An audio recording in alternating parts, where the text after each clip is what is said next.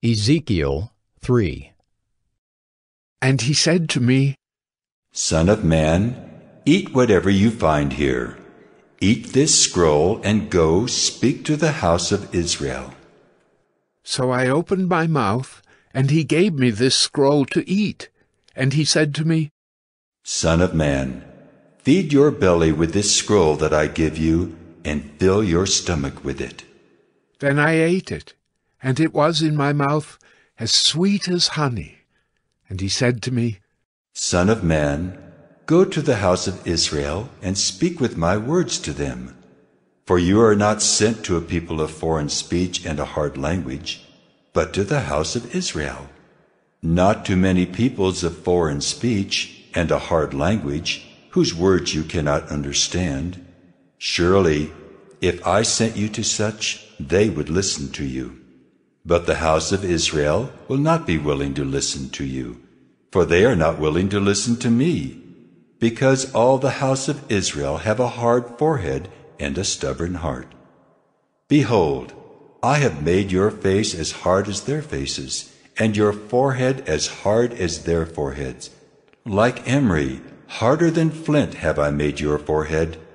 Fear them not, nor be dismayed at their looks for they are a rebellious house.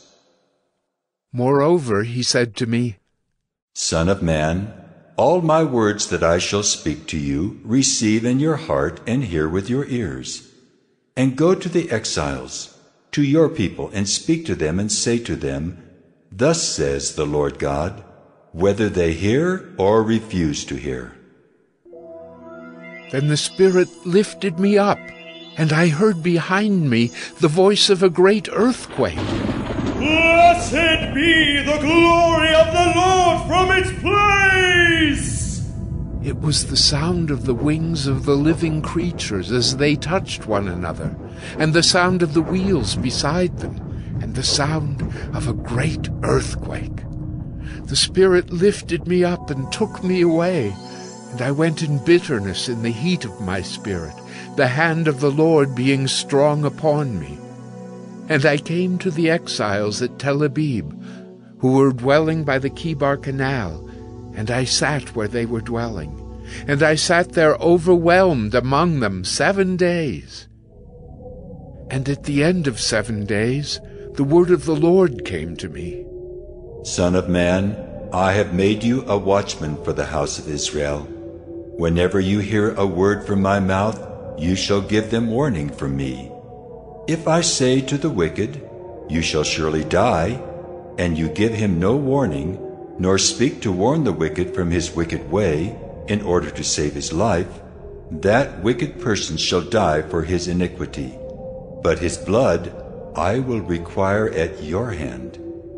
But if you warn the wicked, and he does not turn from his wickedness, or from his wicked way, he shall die for his iniquity but you will have delivered your soul.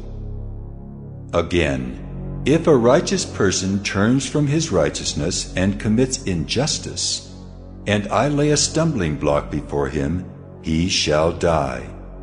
Because you have not warned him, he shall die for his sin, and his righteous deeds that he has done shall not be remembered. But his blood I will require at your hand. But if you warn the righteous person not to sin, and he does not sin, he shall surely live, because he took warning, and you will have delivered your soul. And the hand of the Lord was upon me there, and he said to me, Arise, go out into the valley, and there I will speak with you.